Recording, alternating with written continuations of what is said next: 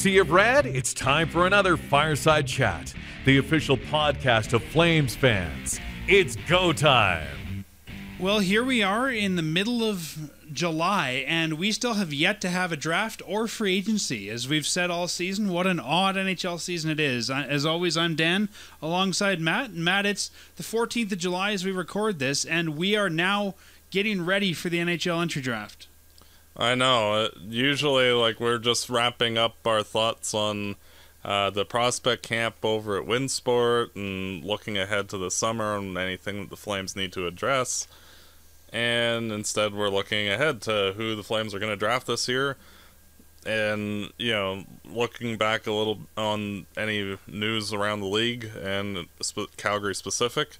Uh, congrats to the Tampa Bay Lightning for, well, beating the New York Islanders to win the Stanley Cup. um, yeah, the the the playoffs were weird this year. But you know, you and I said going into the season there's going to be an asterisk this year, right? Even if you were the Stanley Cup champ, it would be the the asterisk year of you know one in a COVID year. So I yeah. think we all knew it was going to be weird. Yes, they you know they beat the Habs we could debate all episode if we want to if the Habs should have been there, but we have other things to talk about. So I think that you know next year and that that uh, Tampa team's gonna have to be broken up and lose some players. So it'll be interesting to see what they can do next year with a full 82 game schedule. Yeah, and I'm kind of glad that Tampa repeated, uh, just because you just have one big giant asterisk instead of like two teams. One one COVID one. success. Yeah. Well, Matt, let's jump right into Flames news. Before we get to the two drafts coming up, expansion and entry, there is some other Flames news we want to just quickly recap here. Uh, first, some roster news. So the Flames have lost two players. Uh, Nordstrom, Joakim Nordstrom, has signed in Russia, so won't be back next year. Alexander Yelesin, who was uh, mostly on our AHL team, also signed in Russia. And the Flames have walked away from 2017 seventh round selection Filip Sveningsson, um, prior to the deadline to keep him or lapse his rights. So Sveningsson, if you looked at him, he was always a bit of a project. He never really found his niche as a pro in Sweden. Um, not, I don't think any of these guys are huge losses for the Flames organization. Yeah, the Flames need to get better at drafting Swedish forwards, um, especially considering this year's draft, where you know some of the people that we might be previewing are Swedish forwards. Uh, they the last guy that they actually got that hit was Mikael Backlund, and you know when you're talking 14 years of drafts, like that's kind of not so good. I saw a funny tweet about that actually. Someone saying they weren't sure what Sweden's Swedish players were available late, but we all know when Buffalo made up a player in the draft, and they said, "What if you just start combining names of IKEA furniture and call those names in the seventh and eighth round and see if there's a guy named that. If so, he might be worth taking in round six or seven. Yep. Well, Sveningsson Billy is kind of like that. Yeah. So Sveningsson yeah, well, is close to that kind of a concept. So. Um, and then looking ahead to some team awards as well. We had Johnny Gaudreau receive the Daryl Doc Seaman Award for being the team's leading point scorer. Mikael Backlund received the Ralph and Sonia Scurfield Humanitarian Award for his work off the ice supporting several charities in the Calgary area. He's also previously been nominated for the NHL King Clancy Award for the same. And Mark Giordano uh, won the inaugural Clayton H. Riddle Award for the 2021 2020-2021 season. That award is presented to the Flames defenseman who demonstrates throughout the regular season the greatest all-around ability at the position and Elias Lindholm, the inaugural winner of the Harley N. Hotchkiss Award for the 2020-2021 season. The Harley N. Hotchkiss Award is presented to players selected as the team's most valuable. So a lot of awards on this team with uh, initials. Our, our ownership here likes their initials. We've got the Clayton H. Carroll, the Harley N. Hotchkiss, and I wouldn't be surprised if in the next couple of years we start to see a Ken King Award added to that list. I wouldn't be shocked if there wasn't.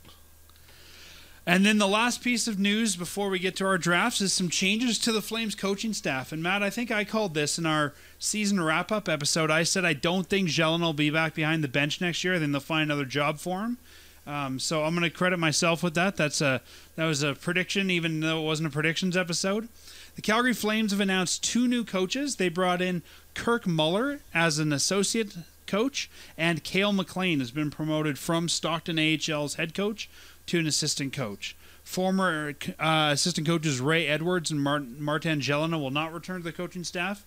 Edwards will resume his role in player development, while Gelinas also return transition to player development operations. So if you remember, uh, Ray Edwards was not a coach after the whole Bill Peters thing. He was brought into the coaching staff, I think, more for numbers than anything. So returning to where he wants to be. Um, interesting if you listen to Daryl Sutter talk about these guys, he said that he sees Kirk being the quote unquote bench coach, the guy who will do a lot of Daryl's work on the bench and running the games and that sort of thing. So it makes you kind of wonder what do we need the head coach for then? Um, and Cail will be doing the pre scout and the headset work in the press box. So a lot of what we had Gelinas doing. Matt, thoughts on these two I, additions I to our think staff? that um, I think with um, what you mentioned about Muller, um, it's sort of like what Jim Playfair used to do under Daryl, where he was very much the X's and O's kind of guy, and would write out the plays type of thing. But Daryl uh, very much is his focus as the head coach is to push the buttons needed for the team to get going one way or another. And his job is the psychological side of the game, where Kirk Muller is more the X's and O's kind of thing. And I can see here too them playing sort of good cop, bad cop, where Daryl's going to be the guy to run them hard in practice and motivate these guys, and then during the game, Kirk Kurt can be the good guy. Yeah, and Muller uh, being such a good center for all those years, I think that will help the Flames' face-off percentage quite a bit.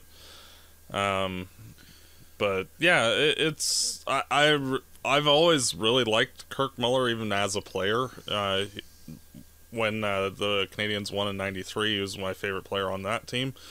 Uh, so yeah, it's just one of those. Uh, you know, it's nice to see him in the organization, and uh, I'm looking forward to seeing what they do.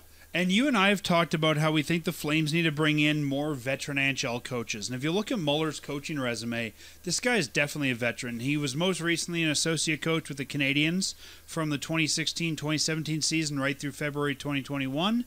Uh, his second stint with the team. Before he was also an assistant with the Canadiens from 2006 2007 until 2010 2011 before going on to be the head coach of the Hurricanes from 2011 12 through uh, 13 14. He spent two seasons as an assistant with the Blues in 14 15. So, uh, really, this is, you know, a guy who's got some NHL pedigree. And Matt, you and I talked about this when Daryl was brought in. Daryl's not a long term solution here. Who's next? This feels like we've got our next head coach, doesn't it?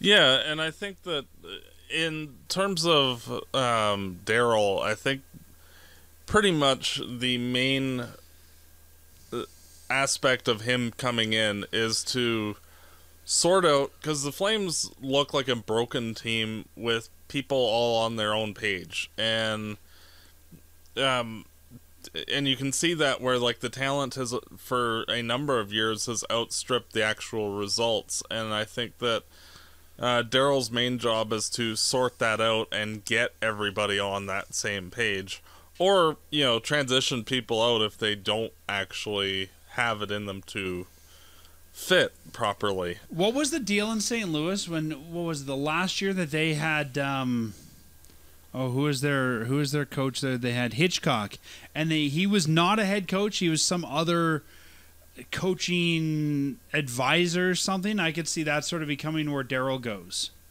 Yeah, Uh, it's one of those things that I think that uh, um, the hiring of Daryl more than anything was to sort out the organization For sure. and see. but see once they we- once they get sorted out and he rides off on the sunset I think Muller becomes the new head coach. yeah, probably.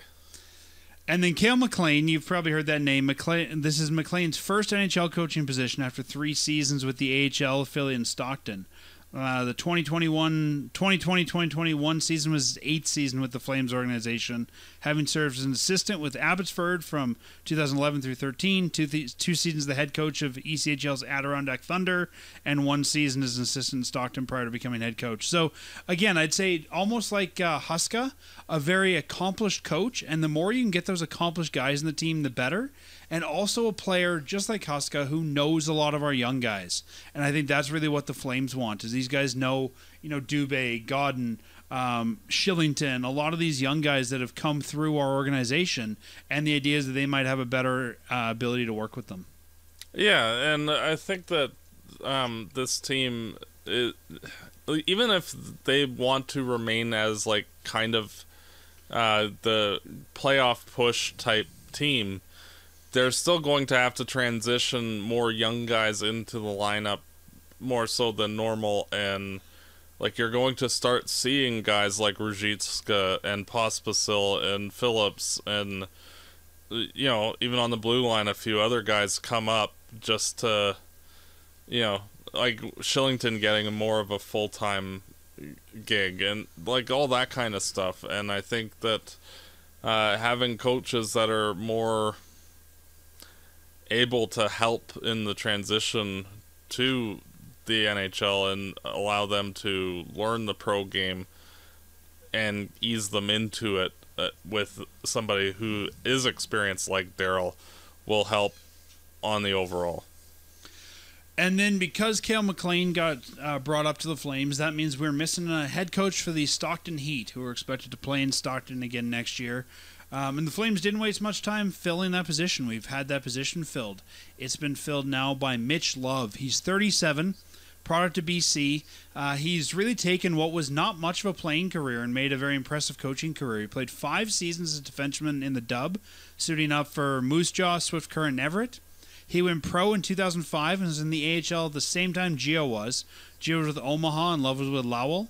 Uh, he played a solid. He was kind of a, an AHL everyday guy, but never spectacular enough to get an NHL look really. And he played for Lowell, Albany, Lake Erie, Houston, and Peoria of the AHL, as well as Johns Johnstown and Boys Boysport. I don't even know how to say it. Bossier Shreveport before retiring in 2011. So he was a pro for six years.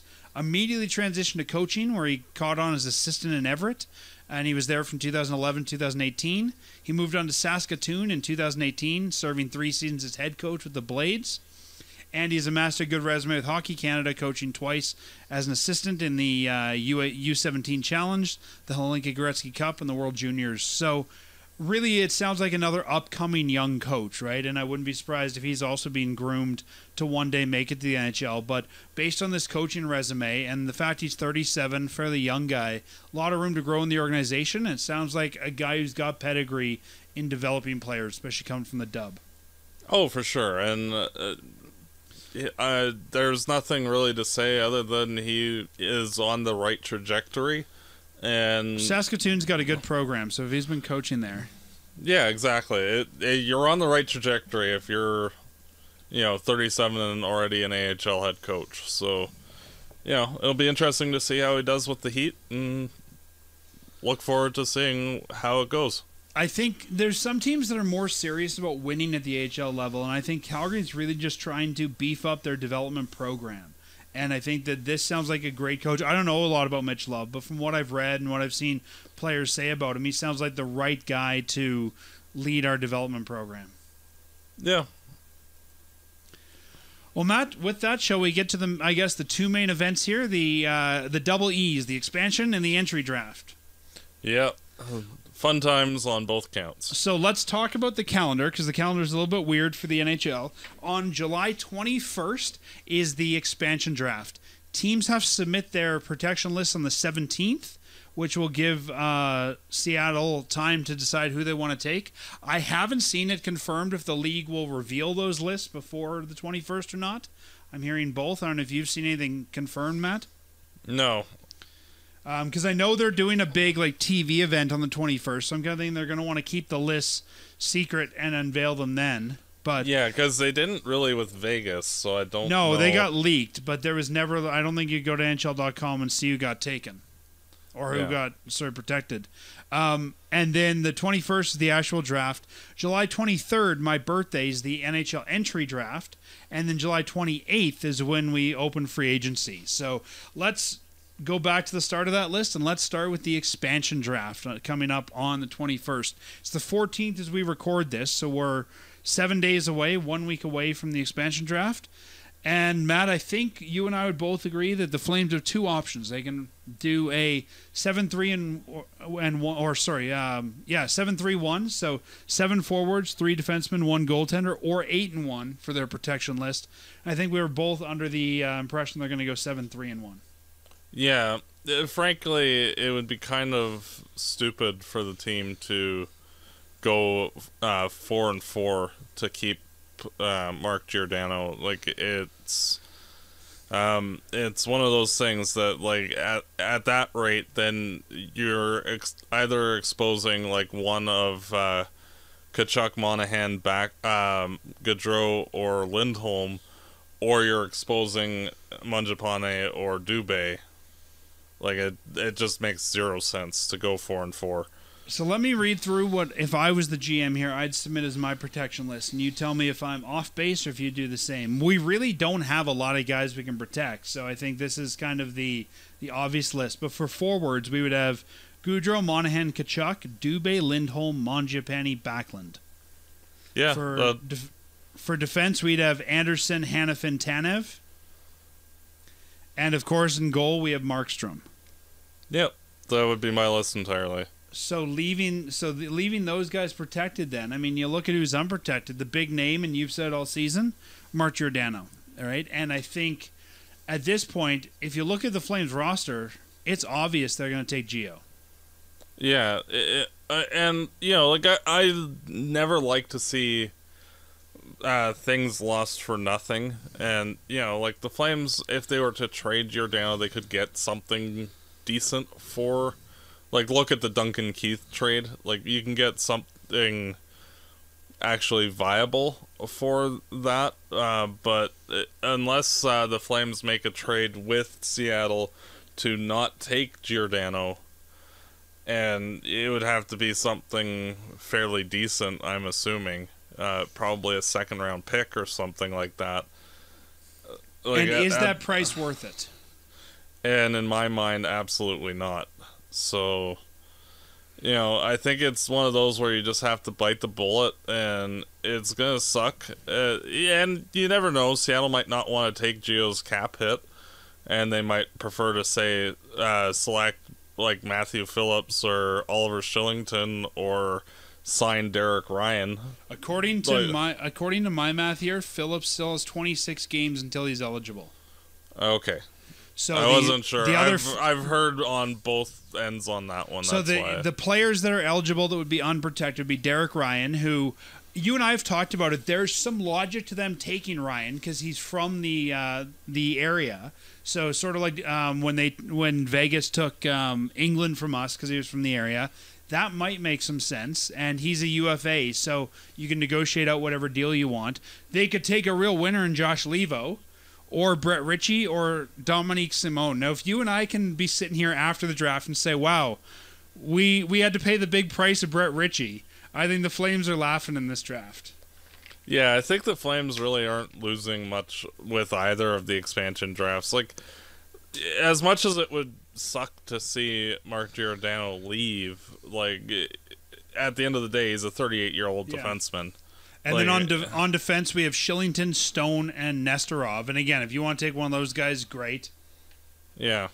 But you know, even if Stone gets taken, they'll find some way to bring him back. You'll leave, you'll come back. I mean, they'll you know trade a Oh, yeah, seventh to bring him back. We've talked about him. He's a defenseman that can't stay away, right? We tr- we pay him to go away, and we pay him to bring him back. Yep.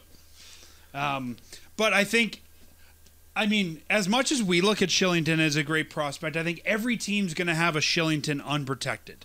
Right? Oh, yeah, for sure. Some sort of tweener guy. So they're not going to want to take all the tweeners. And you're right. I think Giordano. I think Giordano is the obvious choice unless they don't want the cap hit. And I think you've been confident all season that Giordano would get taken, and I think he'll be exposed. I didn't know if he could take it. I think, especially now, as we're starting to see some big buyouts happen, I could see Seattle loading up with some salary before the draft happens. Maybe bring in Parise or Suter, and maybe then they don't want to be taking on more old, uh, you know, big money. Yeah, it really depends on uh, what the actual expansion lists are for all the teams. Because, Yeah.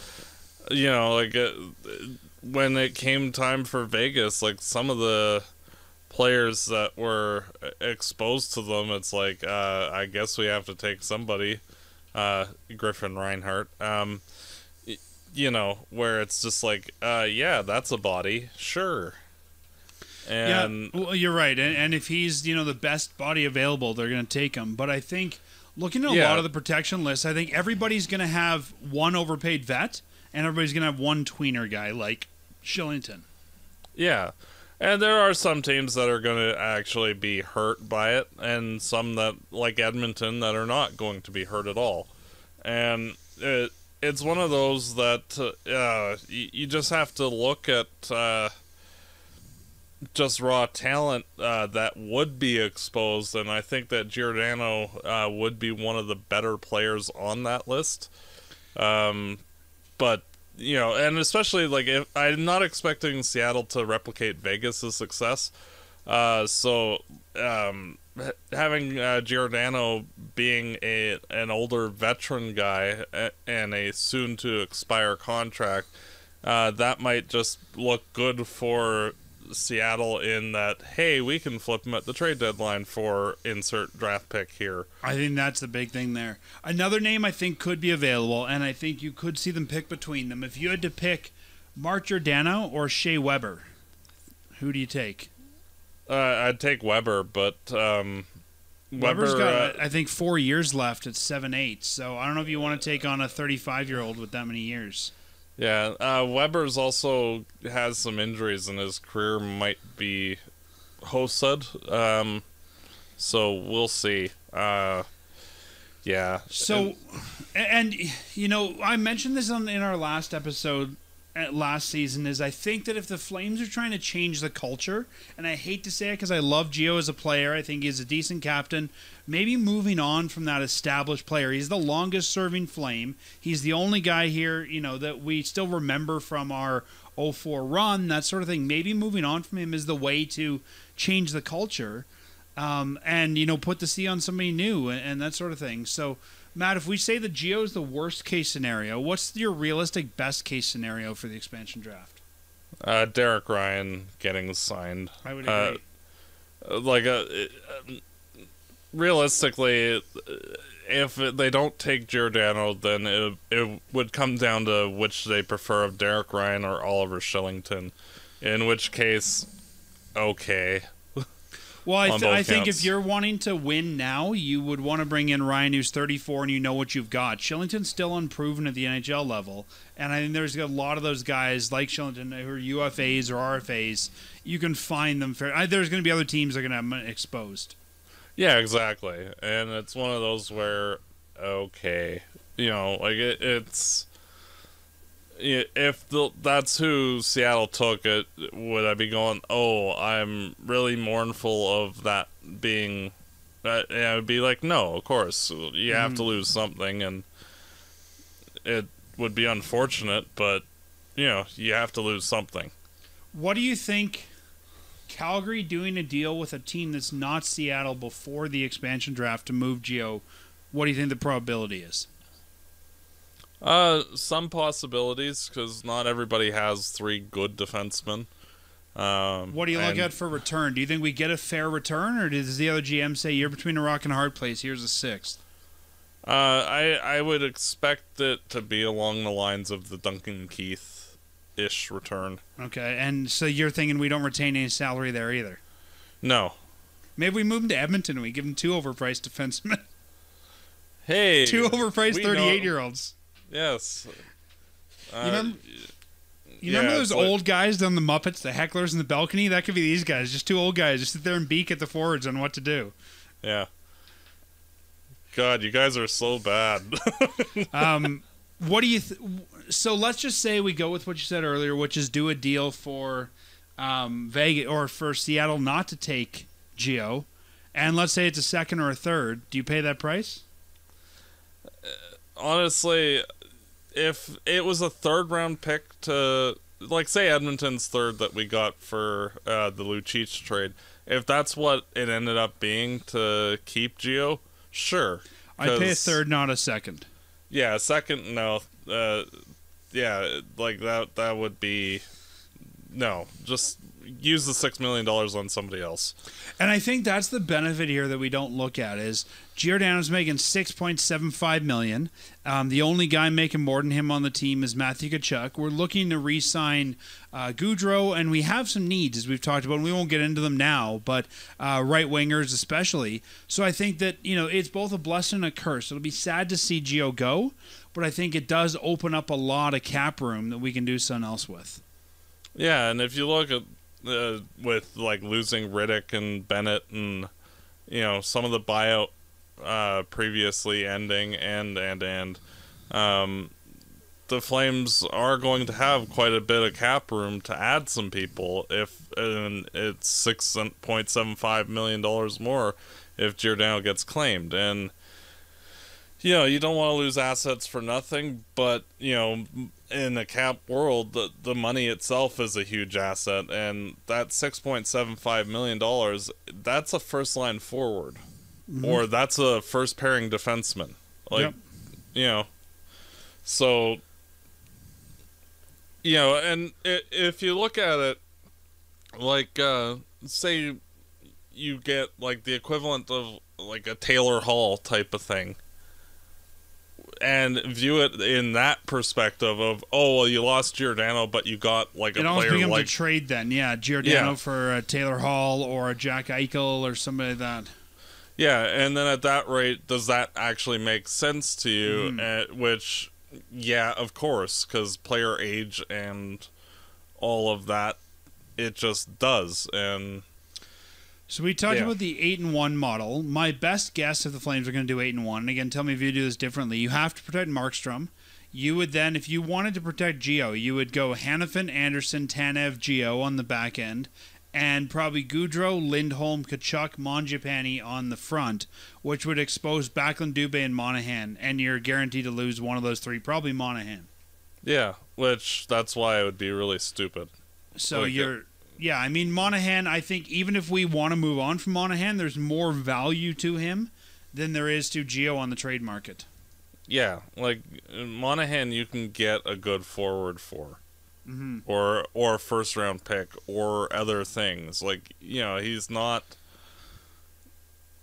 trash. you know, like you're he's not 38 years old. You know, he's the best, uh, second best player in terms of offensive production from his draft year. Like you know, like that's he's a good player still, and yeah, he's got injury troubles. He's still a good player.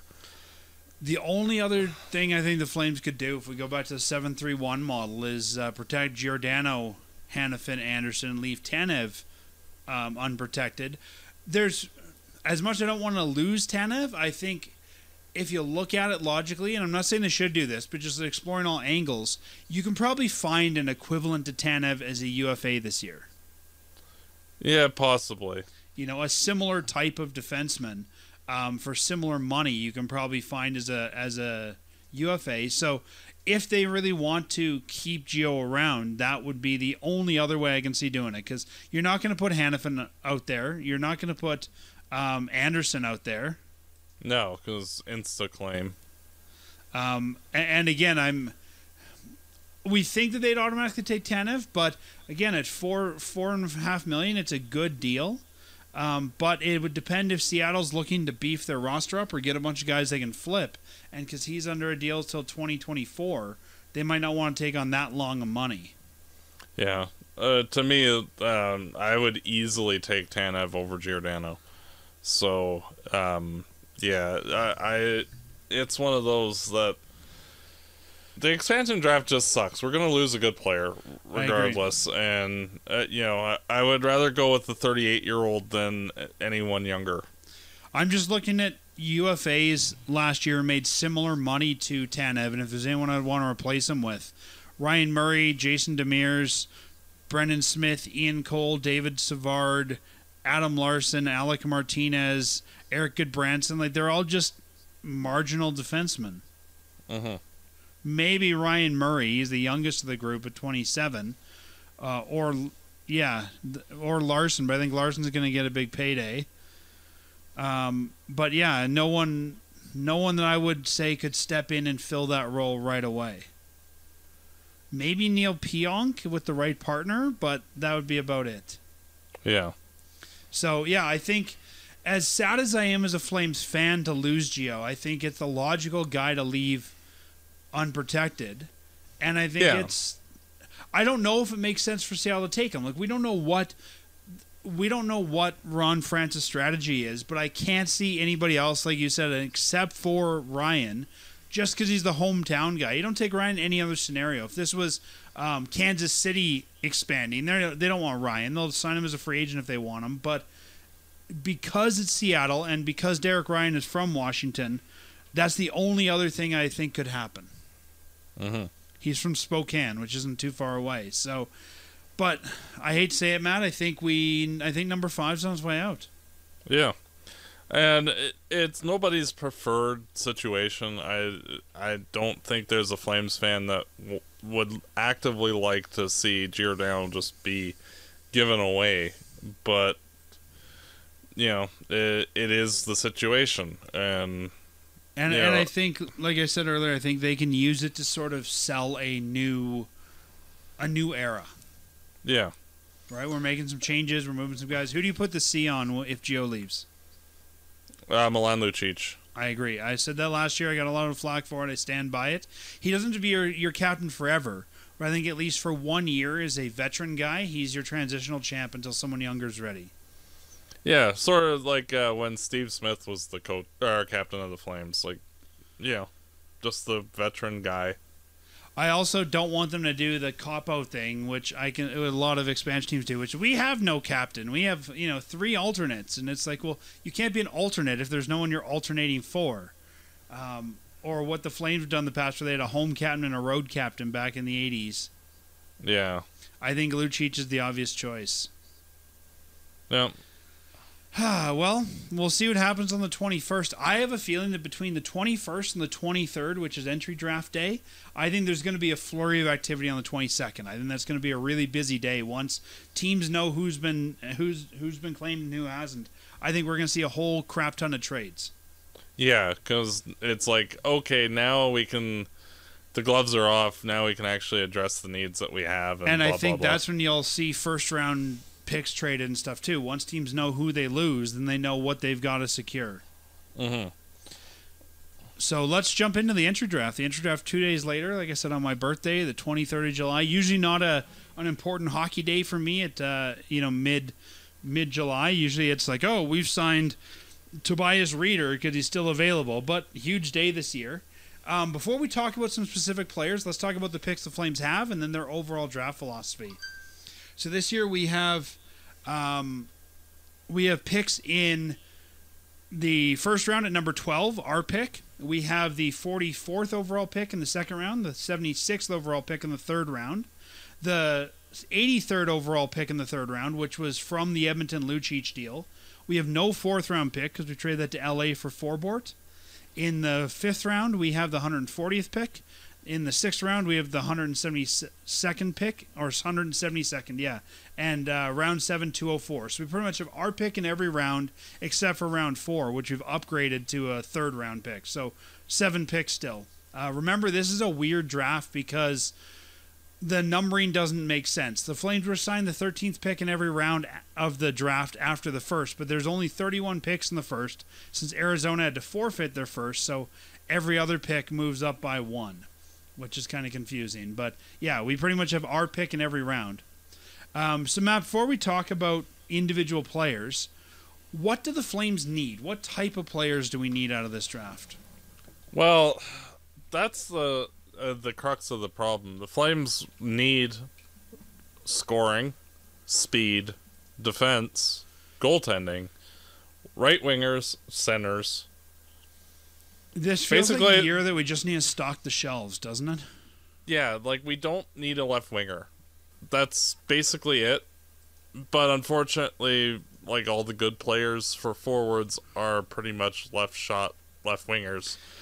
As So- much as we say we need right wingers, though, I'm not looking for one of these players to jump right in the NHL. So I, No. I, I don't think we're looking to fill immediate need. But when we look at the Flames' overall prospect pool, I mean, you know, we've got, you know, Emilio Pettersen, Connor Zary, Jakob Pelletier, um, you know, Martin Pospisil, Zavgorodny. Uh, On defense, we got nobody. Like I think this is a huge year to uh, to look at defense. We've got Jonas Kinvall and Kuznetsov, Petrovic, Lerby, Poolman. Like we just, I think we just need to fill spots. Yeah, Poirier is also there. Um, yeah, like the the Flames, like I could see them drafting a number of defensemen in this draft, just not necessarily with the first round pick. Yeah. And I think that this is a year that we're going to have a lot of open roster spots. And I think some of the roster spots that we used last year to fill with Leivo, with, um, you know, Nordstrom, that sort of thing, I think you can fill internally with some of your guys like uh, Tuulola, uh, Ruzicka. So I think that we just need to get new bodies. And obviously, some of these guys aren't going to be ready to play in the HL right away. But I think we just need to get guys in at every position. I think this is just a, a reset year.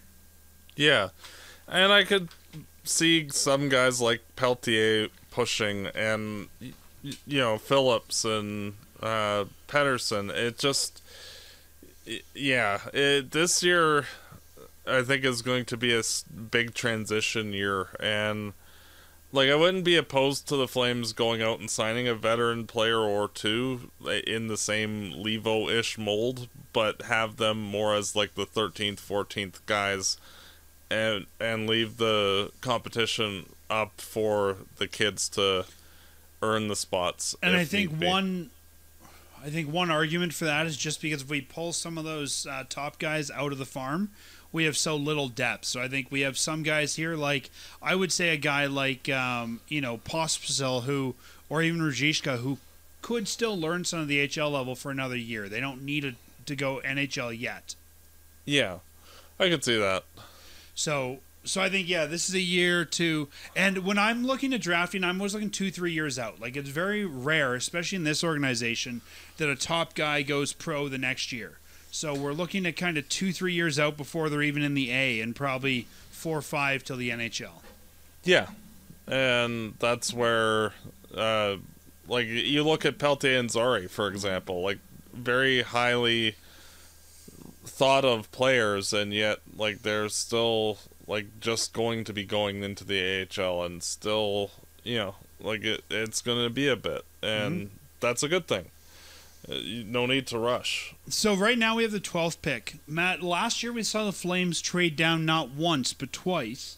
Um, they got the player so nice, so we traded down for him twice. What do you think there's value this year in? Let's let's break this down to two possible scenarios. Do you think there's value in moving the 12th round pick for a veteran, let's say, and getting out of the first round? Well, the the problem is is that because this year's draft is so chaotically random that I don't see there being any value really in the draft picks themselves. Um, uh, like honestly, I would be shocked if you got more than like a number four defenseman for the pick number twelve. And I think you're backed up with that by looking at the trade deadline, right? Most of the the draft picks that were traded were in next year's draft. Yeah, uh, because like half of the players didn't play, or if they did, they played a very small amount, and like everything was just chaotic. Like it's hard to gauge any of these players properly, and you know, like it, basically the only guys that have any uh, staying power in terms of uh, where they're rated is like did they basically continue to play at a reasonably similar level to last year And I think too, listening to some junior player or some junior coaches talk, not just their playing ability, but did they stay in shape? And a lot of junior coaches said that's what they think is going to be a big factor in this year's draft. yeah and it's really tough for because this situation being so unprecedented, like I just I do not see any value in trading picks for players. Because like as a if I was a GM, I would not want to trade a valuable player for No. draft picks in this draft. And I don't think you'll see them trade up or down for that reason either. I think everyone's probably able to find something at where they are in the first round, and I don't know that there's value in moving up or down. Yeah, and then on top of it, this draft is basically very similar to the 2012 draft, where uh, the guys at the top were kind of not very good, and then the rest of the draft is also kind of not very good. Um, so it's kind of difficult for teams to, you know, like, uh, put it this way, like, I would not trade Sean Monahan for the number one overall pick. My assessment of this draft going in is this is probably not the draft where we find the next Gaudreau, the next Monahan, the next Tkachuk, but this is probably the draft where we find the next third and fourth line guys in our team. This is probably a great draft to build up a bunch of bulk, if that makes sense. Just pick Yeah. guys you think have some raw potential and see Yeah. what happens. Yeah, like if uh, like honestly, I view this draft as a win if you get two NHL players that can play more than fourth line third pairing minutes. You know, and like it, it- as long as you're getting a body out of the de- deal, I think that can actually uh, contribute to your team. To me, that's a win. Yeah, I think you're probably right there. I, I would say more than fourth line minutes, but yeah, I think that you're looking at probably just because of the players not having played and not being able to see a lot of them, and guys that probably should have had a turning point in their season or a you know a turning point season not having that. I think um, you know probably yeah probably hard to scout. So I think as long as you get one or two bodies that going forward can play at the NHL level for less than a million for let's say a full season, I think that's going to be successful for you. Yeah, and if you actually find money and get a good one, well, hey, that's amazing. It's found money then, right? Yeah, But- it's but just I like think- Mm-hmm. Va- it's like Vasilevskiy for Tampa. You know, like he was in that 2012 draft, and you know he was the only good player in that draft, really, in the first round. So, you know, it's one of those things where, you know, for Tampa, that was very much found money. Every team's got it, right? Every team's got one Yeah. or two guys. If, I mean, you could say that Gaudreau in the fourth round is found money, Oh yeah, for sure. right? Well, even uh, Mangiapane too in the sixth, like you know, just guys that came out of nowhere to be serviceable NHL talent, and uh, uh, instead of like a normal draft year where you're looking at like, oh, this guy has the expectation of, you know, this guy's going to be a middle six forward or a top six forward. You know, it's like, hey, can he actually play a game?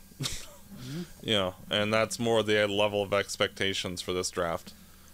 Well, let's jump into some of the players here. You and I have uh, picked some players. You picked most of these guys, and there's a lot of them I had on my list as well. But let's profile some players that might be available with the number 12. We're not going to assume the Flames moving up or down in any of these, um, or at least not by much. Maybe one pick, two picks, but we're expecting they'll draft between, let's say, 10th and 14th. Is that reasonable? Yeah, and like uh, uh, with this draft, there's seven or eight guys that should go in the top seven or eight.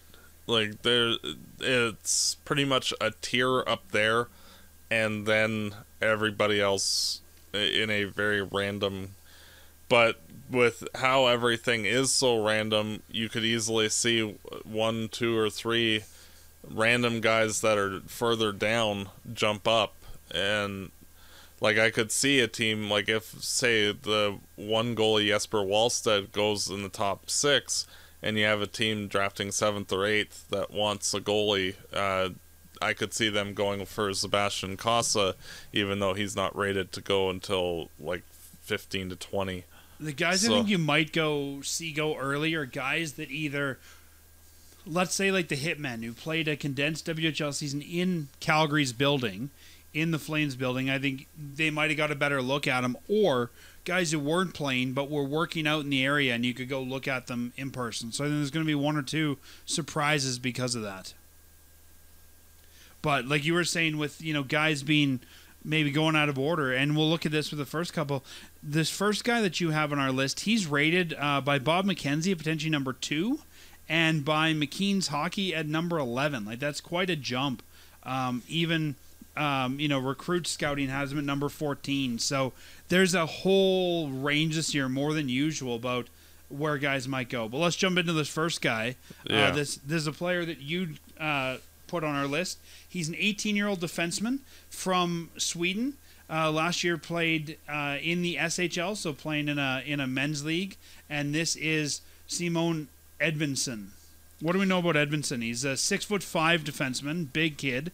What else do we know about his game? Uh, the player that he reminds me a little bit in terms of Flames players is Juuso Valimaki, but not nearly as dynamic of a player as Juuso Valimaki. So, uh, with his size and skating ability, like I would assume that he would make the NHL and play in the NHL, but I do not think he has the higher end upside. Like he he's a decent two way defenseman. It just like when uh, viewing Valimaki at the same age, like there was a special something with him. Like his shot was better than Edvinsson's. Your note here just- says boring tall defenseman. Yeah, uh, basically. And But you know, He's you need, okay. You need boring defensemen. Again, if we're not looking to draft our top, let's say four, sometimes you need boring defensemen in your bottom three, yeah, Six- and I think five, that six, and seven. Yeah, I think that he profiles more as a four or five guy uh, if he makes the NHL. And realistically, like if the Flames walked away with him, that would be okay. And I, I'd give the pick a C because it's safe and it's boring. And the guy, he will make the NHL more than likely. Like, I would pretty much, due to his height and his skating ability and his just overall awareness, he should make the NHL. I just I don't see the upper upper end with him at all. Do you think that he's going to get more opportunity than maybe he should? Whether that means more NHL looks or maybe a you know longer time in the AHL because of his height. Yeah, definitely. I think we even saw that with guys like Kanzig, who probably got more opportunities because of their height. Yeah, like honestly, if Kanzig was say six foot three instead of six foot seven, I don't even think he gets drafted. So Um, so, one of the write-ups I saw about uh, Edvinsson here: tons of raw talent in his game, directs pucks to the net well for rebounds and tips. He's decisive in transition and excellent puck carrier who moves with his head up. His wingspan is the difference maker when it comes to forcing the opponents to the perimeter of the zone. So, like you said, sounds like I mean, kind of what you look for in a in a generic defenseman. But I think that his size, like you said, probably going to get him a look somewhere. yeah, Uh, and like I, I would assume that he would make the NHL just because of his size. I just don't see him having enough in the tank in terms of specialness to make an impact beyond being a filler guy. Yeah, and, and you know what? There's, I mean, there's livings to be made being a filler guy. Oh, for sure. Uh, well, let's look at another guy on this list. Your next pick, and this is Chaz Lucius, who plays for the University of Minnesota in the NCAA. Uh, starting next year, he has been playing for the U.S. national junior team um, this past season in the USHL. So turning, going to college next year. He's an 18-year-old centerman, six foot, 172 pounds from Grant, Minnesota.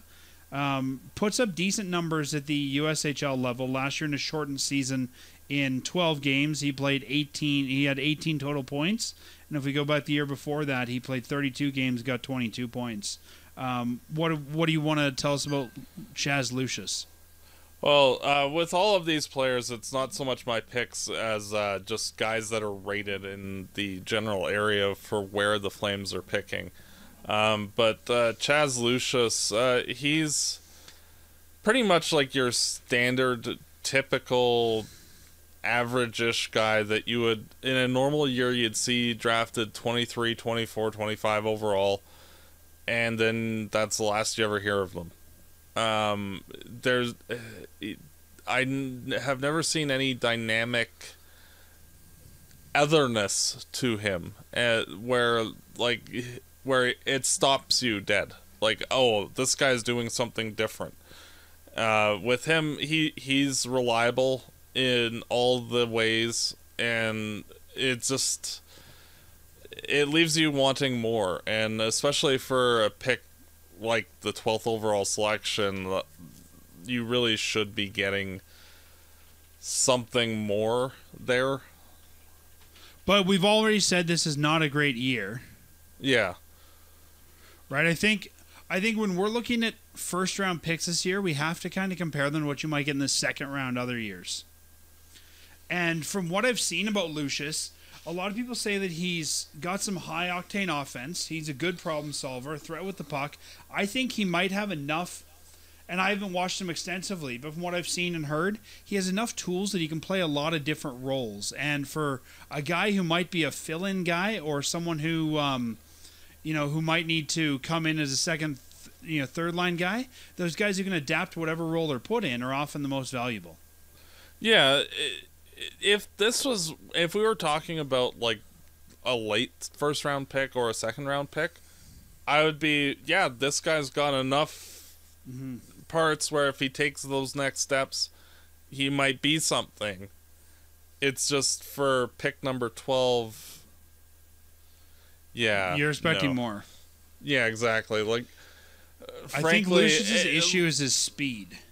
you know, it's one of those where like if the that was the best guy available at 12, I'd either try to trade down just to get additional assets or try to trade the pick outright because you, you know, and at that rate like get an NHL body mm-hmm. because that would be more valuable to you than you know, for the value of the 12th overall selection. He's rated everywhere from 9th to 17th by some of the various uh, draft rankings. So, yeah, I mean, probably that kind of middle tweener guy. But I agree with you. I feel like there's better. I think from what I've seen and heard, uh, his speed could be the issue. Uh, a lot of people think he has below NHL speed, and that that could be the issue uh, going forward with him. Yeah. Um, the next guy here, and a guy that I really like too. You profiled this guy. He uh, he played for the Sioux Falls Stampede last year in the USHL. He's played for the Medicine Hat Tigers um, in in the Dub in 2018, 2019, 2019, 20. And this is the son of an NHLer who usually I don't know. Usually when you get second generation guys that turn out okay, the son of NHLer Cole Sillinger. Or sorry, Mike Sillinger. This is Cole Sillinger. He's a centerman, 18 years old from Columbus six foot, 201 pounds. He's been ranked everywhere from number 10 to number 20 in various different uh, rankings. What do you like about Cole Sillinger? Uh, he has offensive skill. Um, he, he- that and he he can score. Um, that's about where my praise of him would end. Um, the player that he reminds me the most of uh, is actually Hunter Shinkaruk. Um, he has a bad, bit of a bad attitude. Um, he's overly self-centered um, and boisterous when he scores and he tends to look shot first instead of utilizing his line mates. And the fact that he's not a very quick player, that usually is a recipe for somebody who is a good scorer at the AHL level and never actually transitions to the NHL. From what I've seen of time. Sillinger, his game seems very one dimensional. He seems like Jerome, where he's great in the offensive zone, but as soon as he's out of there, he's no good to you. And, and I think for a guy who's probably not going to end up being a star player on any team, I don't know that you can grow at the NHL level with that unless they could teach him to do something else. But I think, um, you know, it's.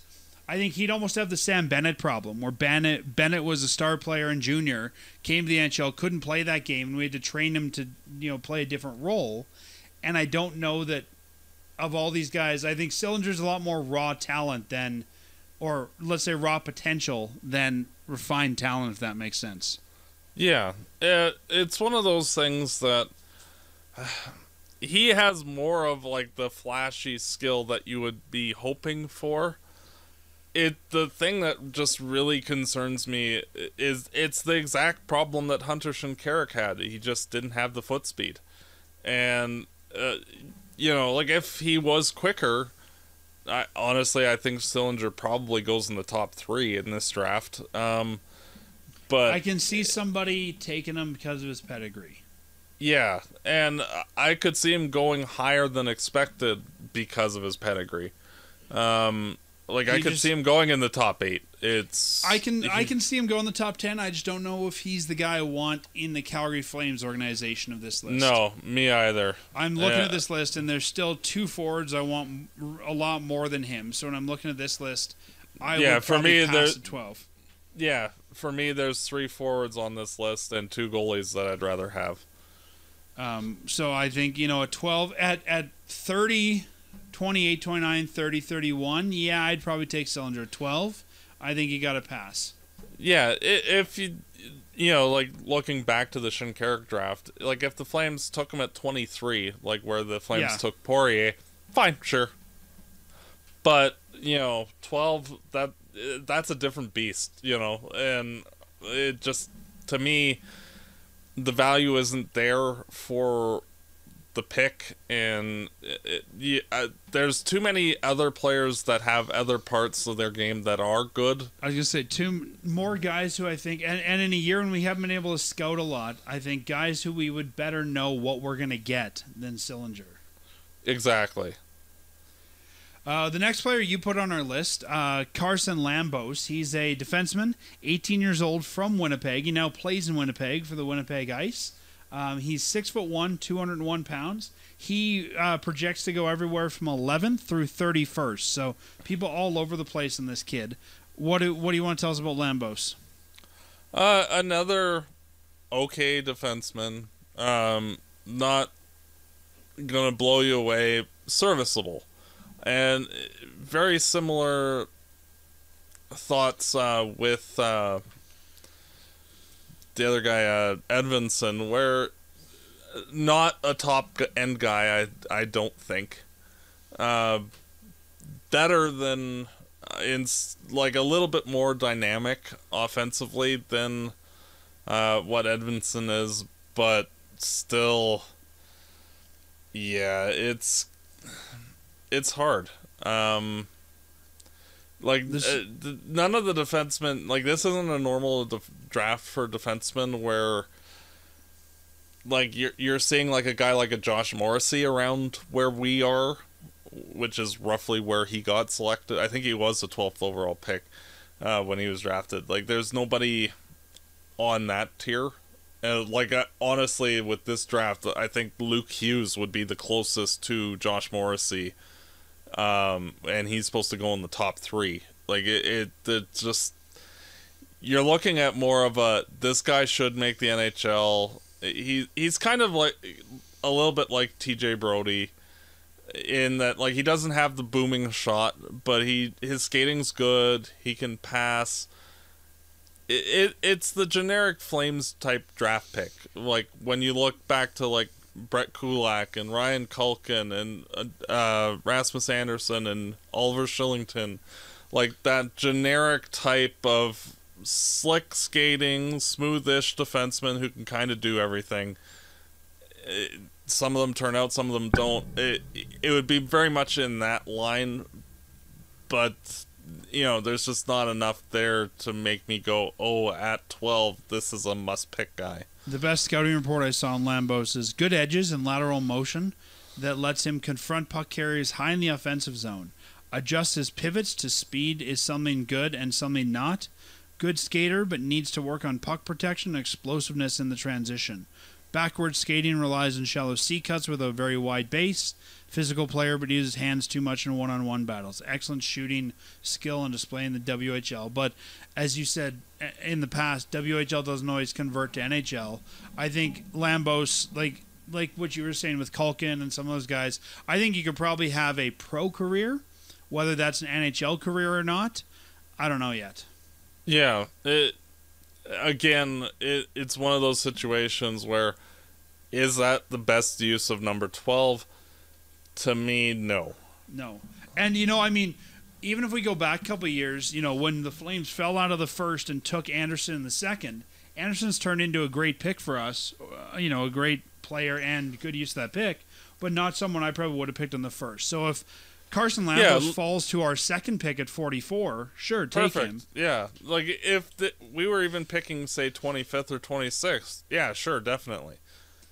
It's just for where it is. Yeah, there. Yeah, no. Uh, and like uh, honestly, I I feel that the odds of the Flames selecting a defenseman in the first round are close to zero unless a guy like Brandt Clarke falls, which there's no reason why he should. Um, so yeah, it, I I would be shocked, frankly, if the Flames went D in the first round, just because there's just not that otherness that you need. Like Valimaki had those skills where, you know, if he hits, then he could be a top pairing defenseman. I just don't see any of that otherness that could lead to that upper I, I tier. think the best players available in that area are forwards. yeah, definitely, or goaltenders because there are two good ones. Well, let's talk about another forward. This is uh, Fedor Svechkov. He's an 18 year old. He can play wing or center, six foot, 179 pounds, from Russia. Played in the KHL last year. Uh, he's rated everywhere from 15th to 30th. Sometimes the Russian guys fall in the rankings because we know that sometimes they don't. You know, we have issues bringing them over from Europe. Um, you're not worried about that with with this player. Uh, the Flames have been drafting some Russian players of late, so my Usually not this high though. It's Yeah. one thing to lose your your sixth round pick. It's another to lose your first round pick. Well, uh, they took uh, one uh, Kuznetsov last year in the second round and a third round guy the year before. So um, it's one of those things that uh, with uh, Svechkov, uh, he his offensive game is not spectacular. Um, he's very much a defensive uh, center, and uh, he has a very good shot though.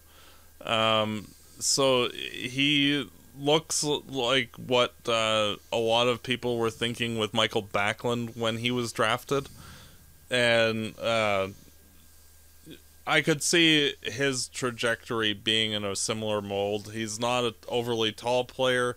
He's just a good center that should play a shutdown role. He played in the Uh, VHL last year. KHL is coming near, and I think that could be a benefit for him, is knowing he's playing in a high end league. He'll get a good evaluation. Yeah, again, is this the best pick for number 12? No. But if the Flames are really high on this player specifically, I could see them trading down to get additional picks in very much the same way they did with Connor Zary. Um, I just don't see why they'd be high on this pick. Like he just seems okay, yeah, and and I think he might honestly be higher because the Russian league played last year, and he could be evaluated. Like I wonder in a regular season if this player is as high as he's rated now, or if it's just because we could see him. Yeah, I could see that. And he might, if the Flames were picking 24th, 25th, sure. But I, I'm not really too sure with picking 12th that this would be the best guy available. Well, let's talk about here a uh, another defenseman, uh, a defenseman from Regina who actually played in the AJHL for Brooks last year. So close to home for us. This is Corson Ceulemans. He's uh, signed to go to the University of Wisconsin in the NCAA next year. He's a six foot two defenseman, 201 pounds, 18 years old. Like I said, from Regina, projected to go everywhere from 12th through 34th, and even 39th. I'm seeing here. Um, Smashed has him at 51. So player that again people are all over with. It's hard scouting the AHL in a year like this, and I think that's probably why he's all over the board. Yeah, um again another okay defenseman. Um not really a ton to say. He's uh, projectable. Um like his season last year, uh, he had 35 points in 44 games in the AJHL, which is decent, and he had 11 this year in 8 games. So, you know, there's a lot of potential, but uh, yeah, it's very much in the same mold as um, Edvinsson, where with his size being 6'2", 200, um, and he's a right-handed shot, I think that would lend more to him making the NHL.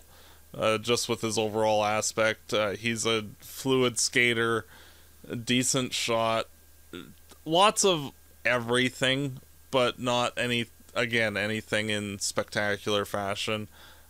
He could be a number three four guy if he hits. I talked to somebody I know who uh, lives in Brooks and has seen the Brooks team, obviously not during COVID, but before that. And he said this guy is very much what he would classify a, a prototypical defensive defenseman. He's good at boxing players out. He's good at you know threat detection and attaching himself to the guy he thinks is the most dangerous forward. But he said that he makes a lot of mistakes and he plays kind of a reckless game, and that that might be his downfall going pro if he can't clean that up. And when I heard that, it sort of reminds me of Sam Bennett, who you know would always take penalties when he get frustrated. And so he said that this guy's going to need a little bit more mental uh, conditioning before he could be a really good, uh, really good pro. Yeah, and that's where like uh, him going to the NCAA, I could see him being a three four year guy there to work on all those aspects. Like I, I would not expect him until his NCAA career is done, um, before making the NHL, and even then, I think he might need a year or two in the A.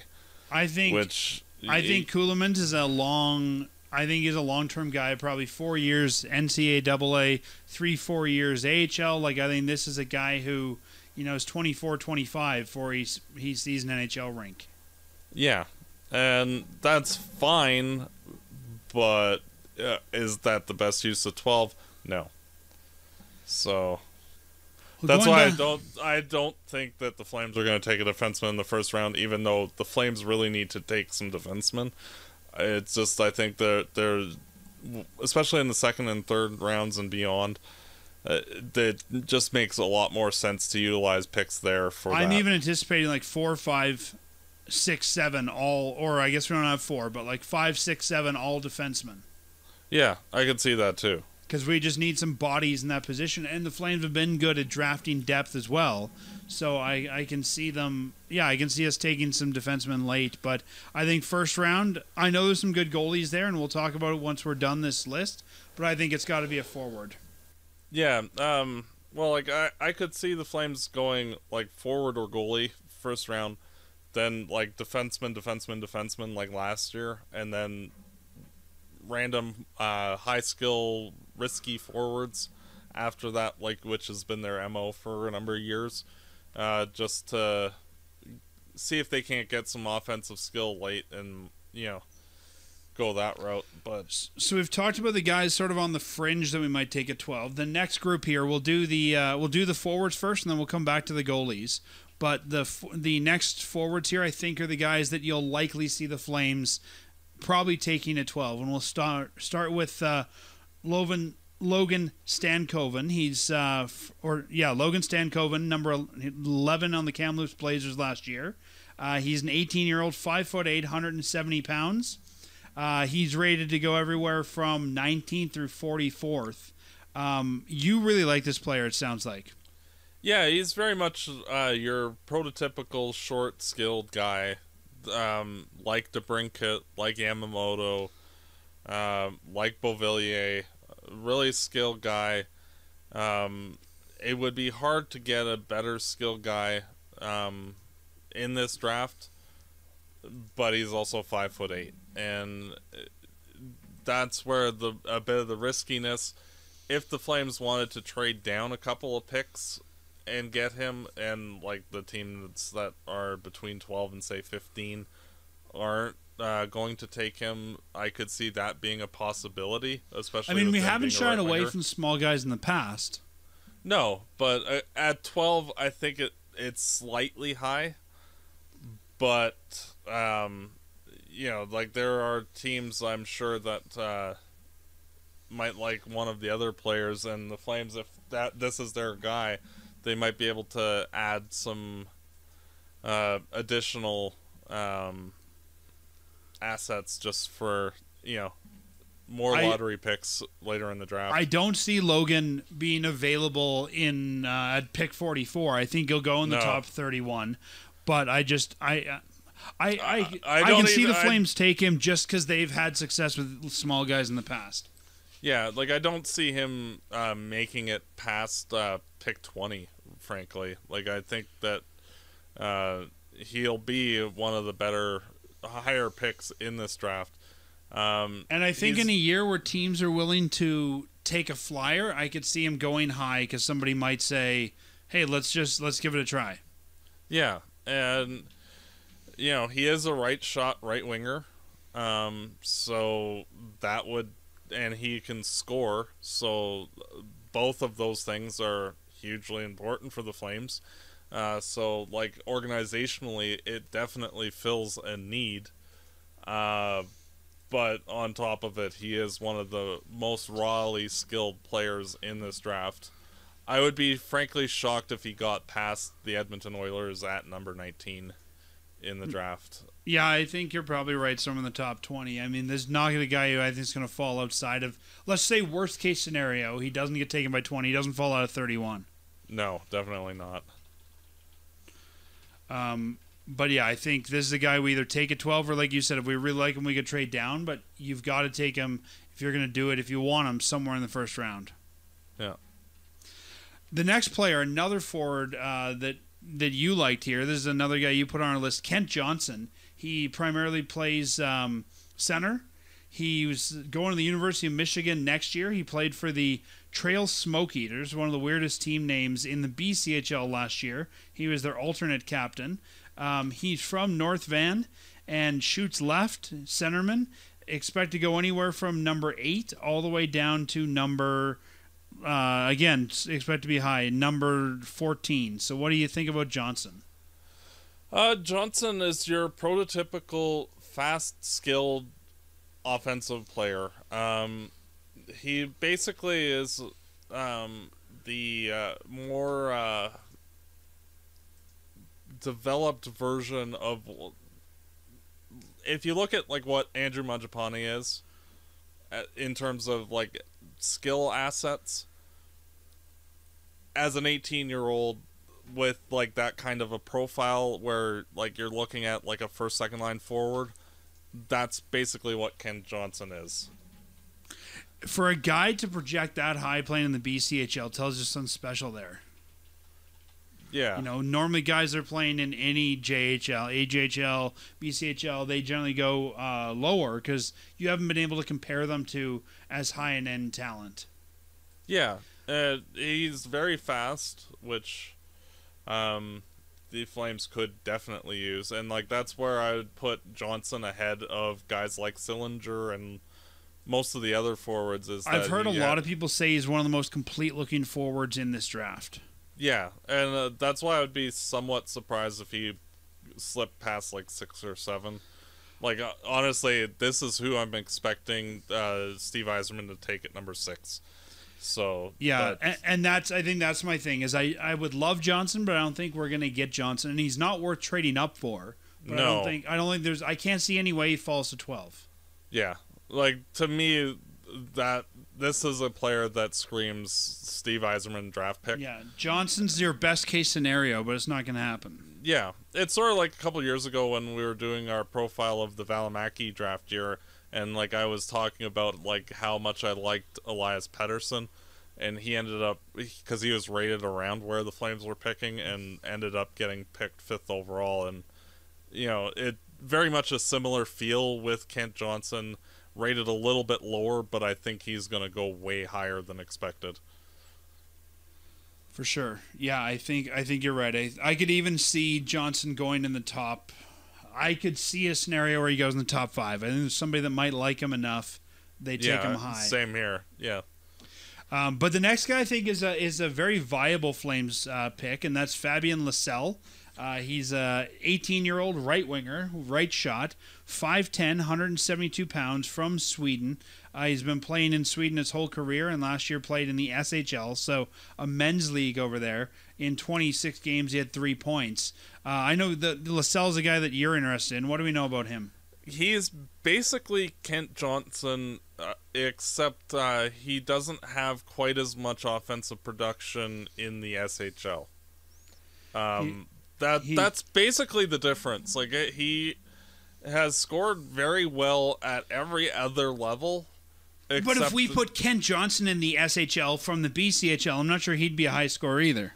No, and and that's where I think that some people might look at um, Johnson's stats as like, oh, this guy's really amazing, and whereas like, oh, this guy only had three points in 26 games, and as much as stats shouldn't matter, to some people they do, and I think that that might be the main difference between them because as far as players in a draft year, these two are as interchangeable as I've ever seen in terms of type, size, how they play, how they all their raw skills.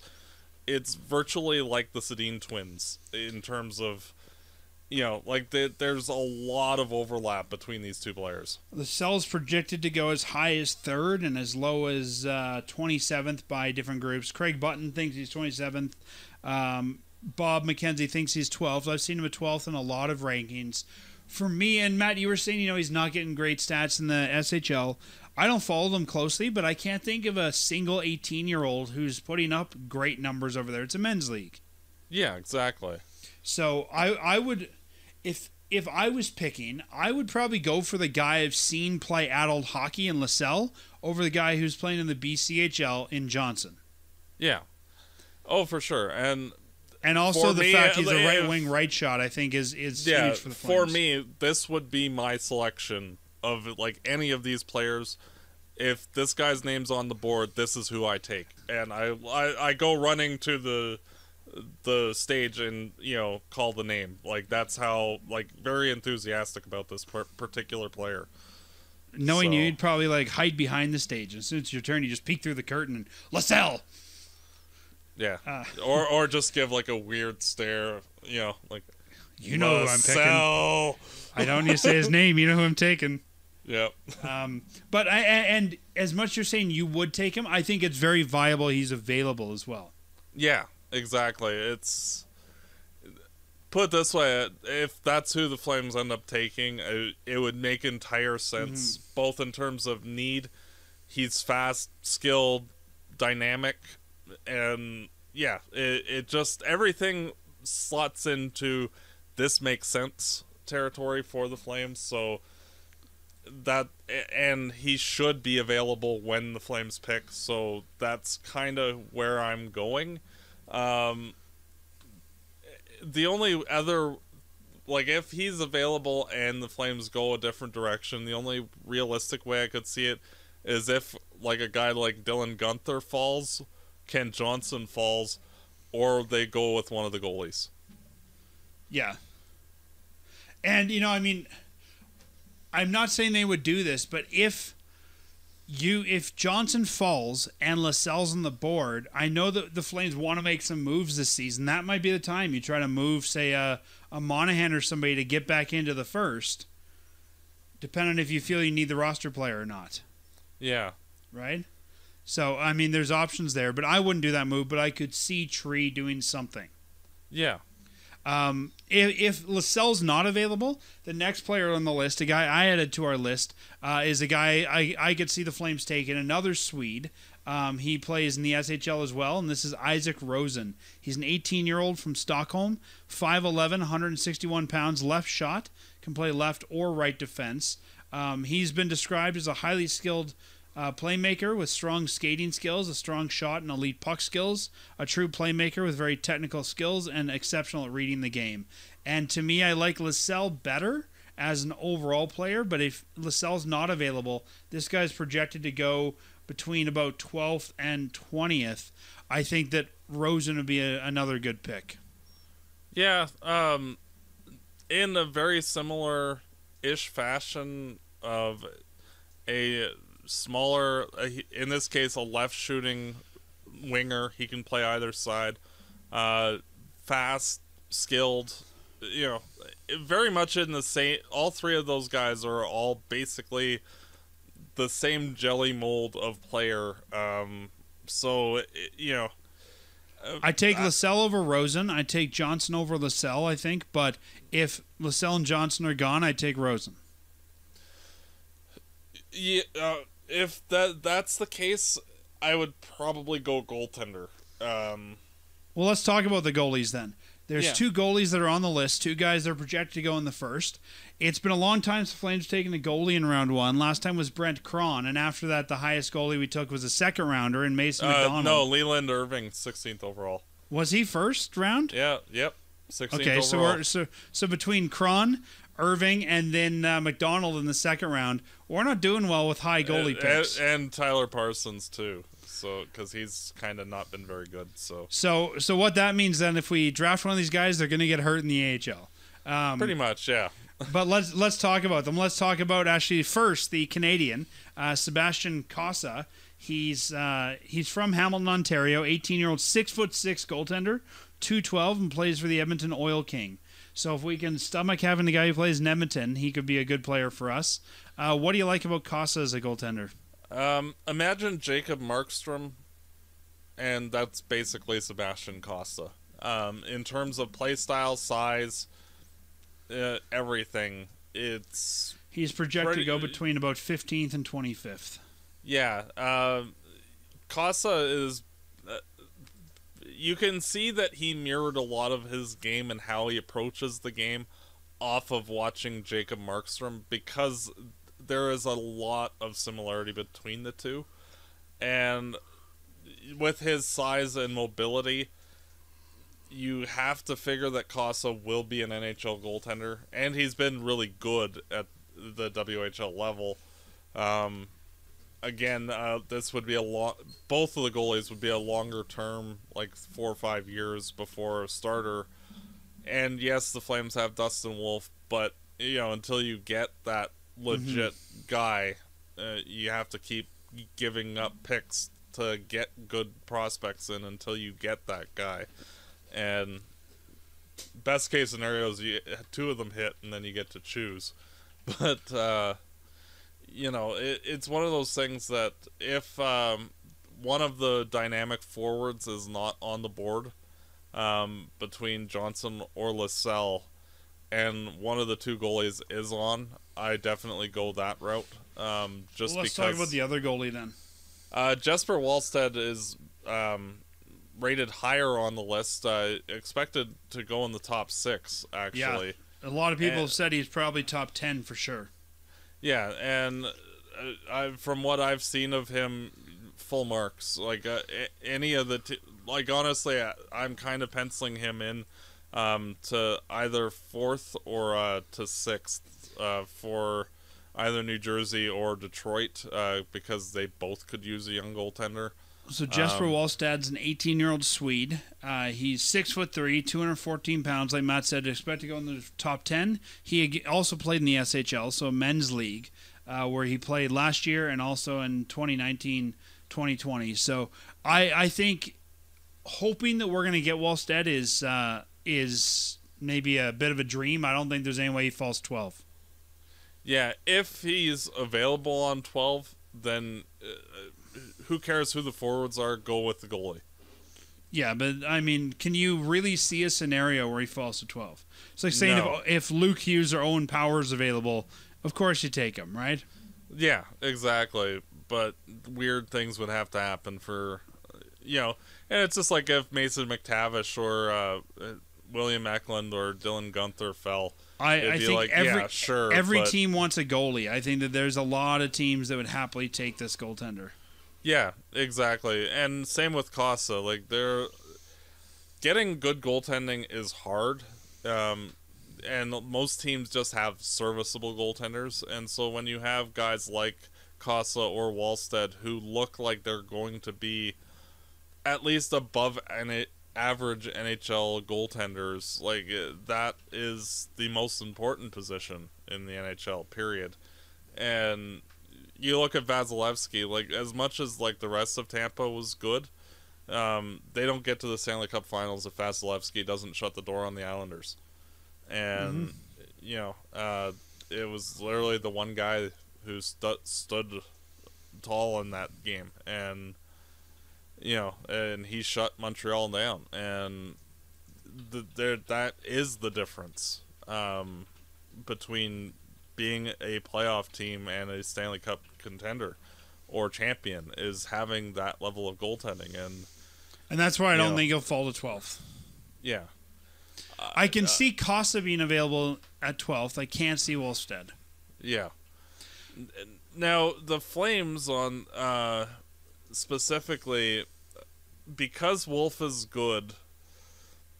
It, there's a little less emphasis where like if they can get one of the dynamic Swedish forwards, I think you go that route first. But if the two Swedish guys are gone, I think that the next best thing is going with Sebastian Cossa. Yeah, I'd, I mean, goalies are always a longer term project. I, I can't remember many goalies that, you know, have had, let's say, come into the league, you know, without playing AHL time and been really successful. There's been a few, but especially in the last little bit, most goalies that are making it to the league and being successful are older guys, mid 20s coming in. Um, so I think either way, these guys have a long, especially in a in a market like Calgary where we have. Um, I, I still think the Flames would want to try out some of their HL guys. We've got Wolf coming in. We've got a bunch of goalies in the system are good enough. And with Markstrom signed long term, you don't need these guys right away. So I think Cossa makes sense if you're looking for your maybe next guy. But at the same time, I think how many top goaltenders now have been taken in the first round? Like a lot of them are depth guys, two through seven. I would rather use the the pick on a forward this year, especially in sort of a crapshoot year, and go for the big goalie in the future. And that's understandable. It, this one, this year's draft is frankly bizarre. Um, so as long as they don't go like off the board and do something weird and take a guy that's just not good, uh, like Aturati, then you know things are fine. um, it's just, uh, yeah, it, it it's one of those situations like with the Flames and their goaltending situation. Like you, if the Flames say did draft Cossa, like you have to figure he's going to play the two remaining years in juniors, so that would leave three years left on Markstrom's contract. Then he's probably going to get a year at a minimum in the AHL, probably two. So like Markstrom's contract is basically coming to a close, and then Cossa would be backing up uh, Markstrom in the last year or two, depending uh, of that, and just as like Markstrom's getting Depending, you see move on. Markstrom a playing out the deal and b being the starter for all of it. Yeah, exactly. I really think you've got two, maybe three more years of Markstrom as a starter before he's backing up a young, a young guy. Yeah, exactly. So it's one of those things where you know, like especially like if the Flames are kind of going into more of a retool for where they're at right now, um, it kind of makes more sense to go goaltender. Um, because then like the current crop of forwards like uh, Gaudreau, Monahan, Lindholm, uh, that's not the guys that you're really building around. It's Tkachuk, uh, Dubé, um, Pelletier, those kind of guys, Mangiapane. Um, that's your group, and so like you're hoping that the goalie would be ready for when that group's like uh, on the ascension, like in four or five years. And again, I mean, I'm not saying they shouldn't take Cossa, but I just don't see the urgency to take a goalie in the first. I think that No, when I and- look at when I look at our need, there's I would even this year take a defenseman over the goalie. I think we have enough we have enough goaltenders in the system. We can muddle our way through that position for a couple of years, even if it means bringing in veteran backups. I think that we really need to get forwards and defensemen, especially defensemen, in the system this year. Yeah.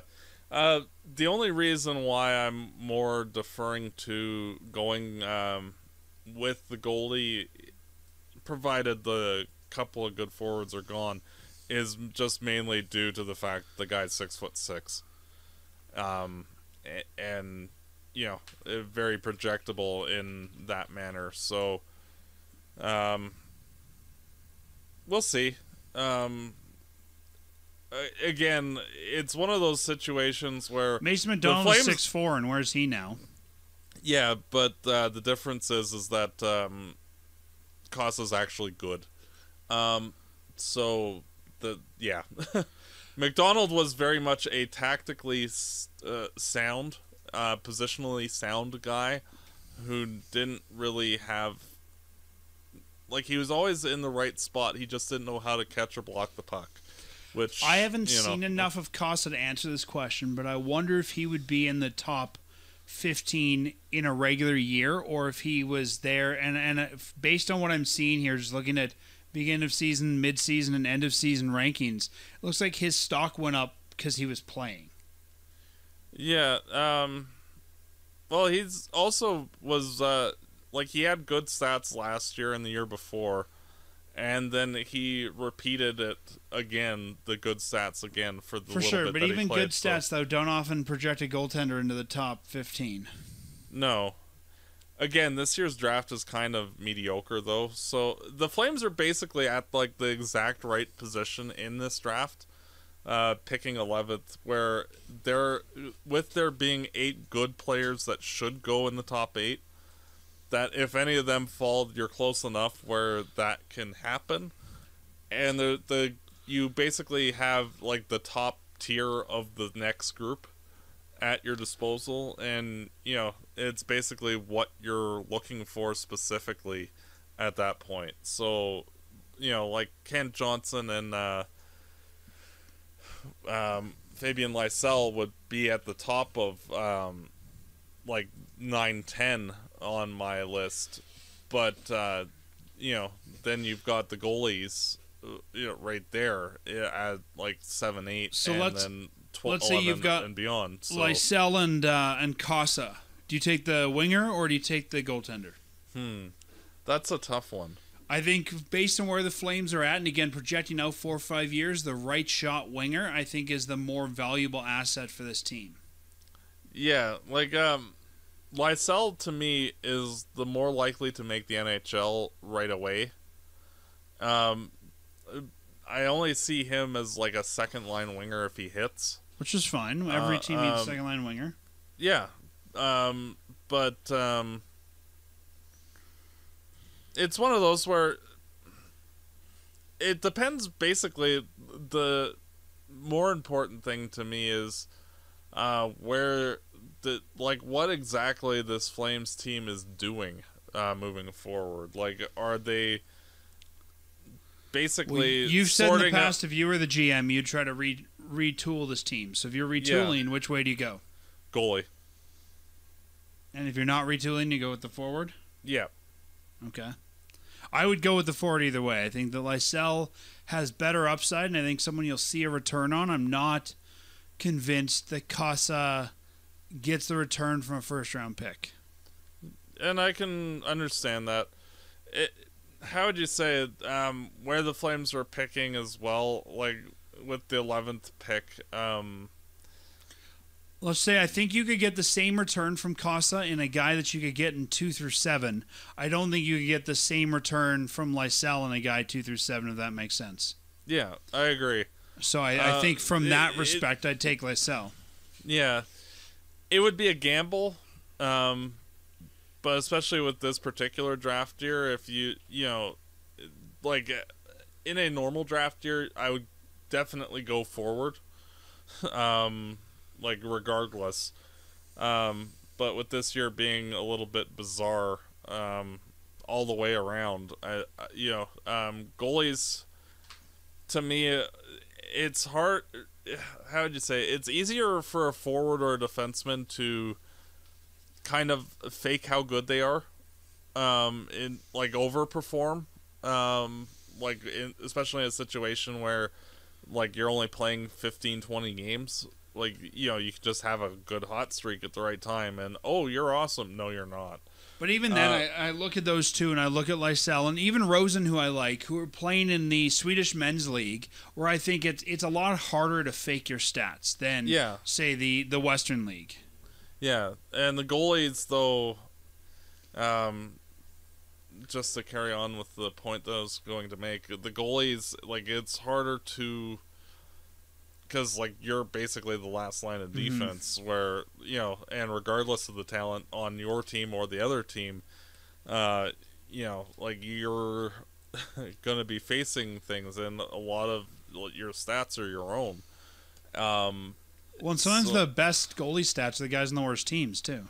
yeah, so we'll see. Uh, it, put it this way: if the Flames draft Kent Johnson, Fabian Lysell, Jesper Wallstedt, um, or uh, Sebastian Cossa, to me, any of those four guys, or any of the top eight guys that go in the are supposed to go in the top eight. If any of that permutation happens, and that's who the Flames pick is one of those four names, then I, I feel like this draft has been successful in what it could be for right where we are now. I think you're right, and based on yeah the pandemic and everything that we have going into this draft, I think you're right. And then two through seven, I think we just got to bulk up, like you said, on defensemen. Yeah, and then whatever miscellaneous skill guys, regardless of position, that you can throw a chance at. And if you don't get the the goaltender in the first, you've got to take one somewhere. As you always say, take a goalie every year. yeah, it's just like last year with them getting Chechelev, perfect pick for where they got it. You know, and if they find another guy in a miscellaneous league like they did with Chechelev, great, awesome.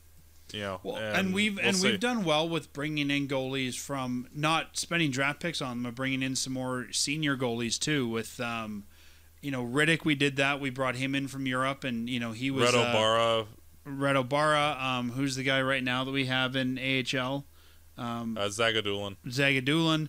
So that's another option too: is not spend the pick on the goalie and find the goalie in some other league as a free agent.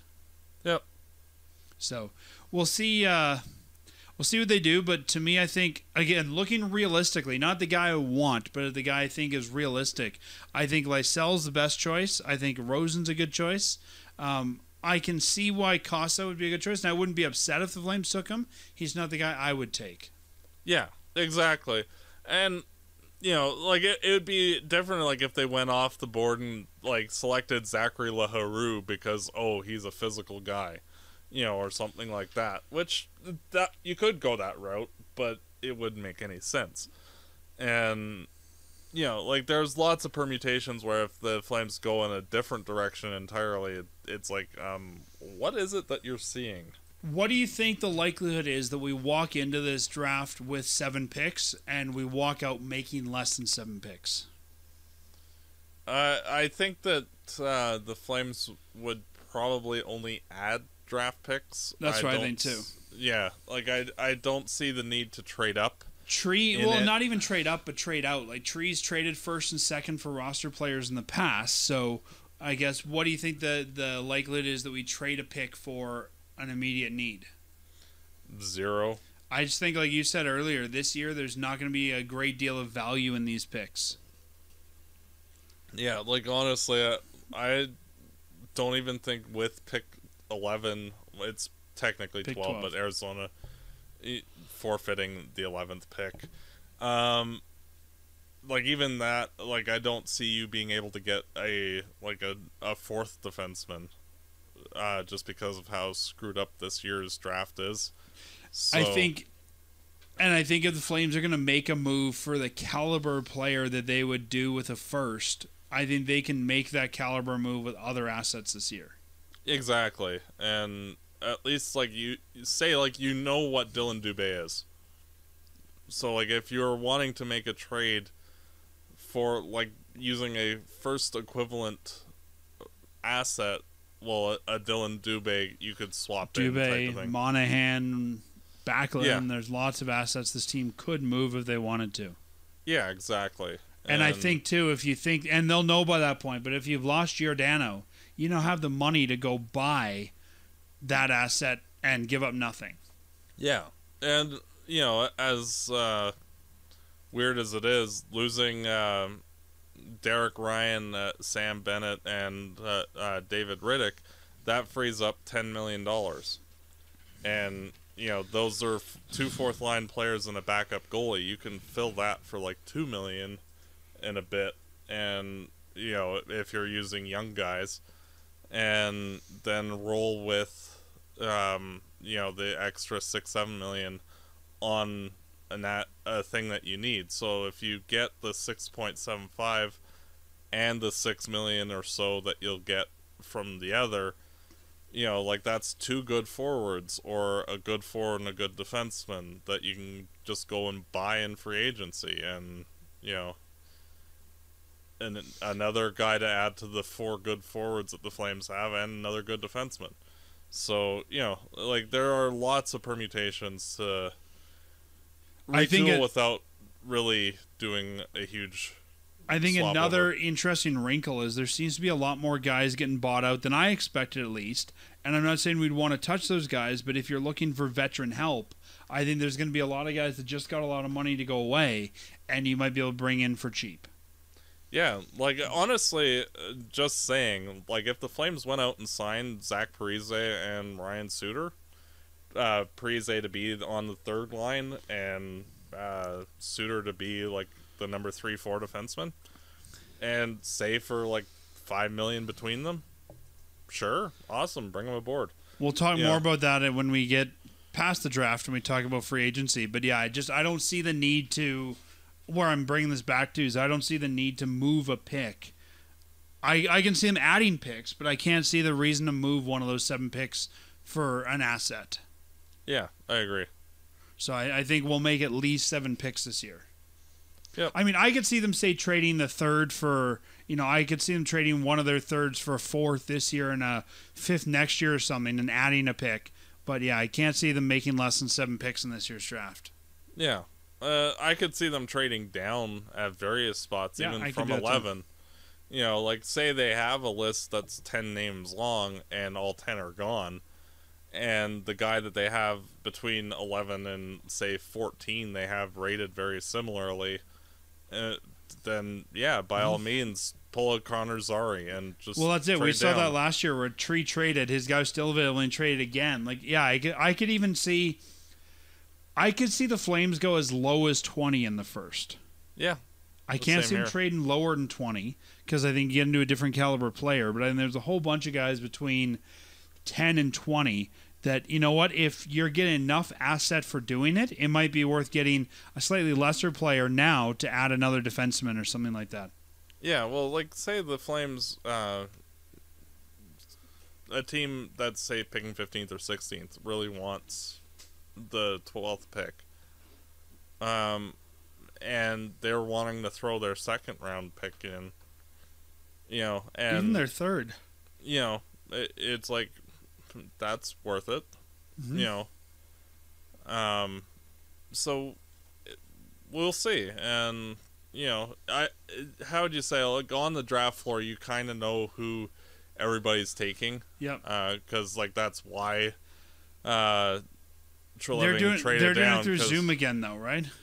Yeah, but like even then, they know like who everybody's going to take. Like I think it's probably a little bit harder because you're not all in the same place. But yeah, you're right. I think that everyone has a sense of that, and they've been talking enough to know that.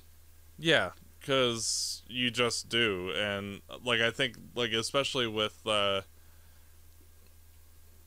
uh, like who uh, is calling you up to make the trade, you're asking them, well, who are you taking for Yeah. one? Because Well, no, and- we want that guy, so no. Uh, and I think, especially as you've been talking trade and that sort of thing, you're getting a sense of what team needs are, who do you like. Um, I just think there might be a little less certainty this year because I think a lot of teams may change their draft order after they lose a guy in the expansion. yeah, I could see that too. So I think you might have a little less certainty on that this year than you have in the past, especially because they're so close together. hmm Well, Yep. Matt, that that wraps up this episode, our pre-drafts episode. Usually we have a pre-draft, but this is before both the expansion and the entry draft. So you and I will chat again after the entry draft, and we'll talk about whatever an asset is the Flames lose in the expansion draft, and whatever assets the Flames gain in the entry draft. Yeah, and normally when we're doing this, we tend to talk more about like the second round and beyond, uh, with specifics in mind of like, oh, this player or that player. But this year, being everything up in the air, like honestly, from pick the second round pick on, uh, uh, none of it. I I do not expect any of the draft lists to even come close to the actual draft.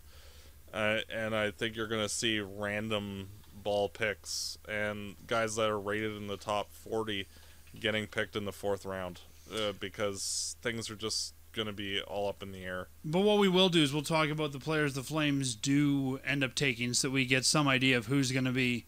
Um, you know who's going to be coming and, and what to expect from those players. So while we can't, you know, project them, we'll talk about whatever player the Yep. Flames actually pick. Yep. So as always, uh, we want to hear from you guys. If you're listening to this and you think that we've gone wrong with our uh, our seven three and one predictions for the expansion draft, and you think there's a way to save Giordano and not lose the top young forward, or maybe there's a guy you like better in the entry draft, let us know. Hit us up. Uh, we're on Twitter. We're at Fireside Podcast on Twitter. Facebook.com slash Fireside Chat. Um, those are the two best places. We also have an Instagram. We're Fireside Chat underscore podcast on Instagram or go to our website and comment on this uh, on this episode or use our contact form and let us know what you think. But we'd love to hear if you guys think uh, somebody different in the draft or again maybe there's a way to save the captain and uh, and get out of this in a way that we haven't looked at. But let us know what you think. Matt i think that about does it for us. We'll be back probably next week to talk about everything that happens. Yeah. And, you know, before we sign off, I just have to say that it would have been nice if um, Montreal had gotten swept by Vegas and then Vegas got swept by Tampa, just so that way Edmonton would have lost consecutively to everybody who got swept afterwards. But, you know. i think you've had a too long an off season to be thinking this through Yeah, well, you know, it's been a long year. The Flames have not been very good, and so I've had to keep my mouth shut about the Oilers because for once they actually, you know, made the playoffs. You know, and this season, to their credit, was their second best season in the last 31 years.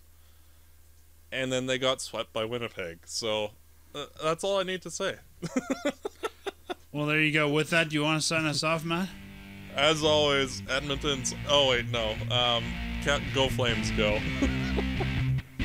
Fireside Chat is hosted by Dan Stevenson, co hosted by Matt DeBorg. This episode produced and edited by Peter Marino. Fireside Chat is licensed under Creative Commons license. For full license details, visit firesidechat.ca.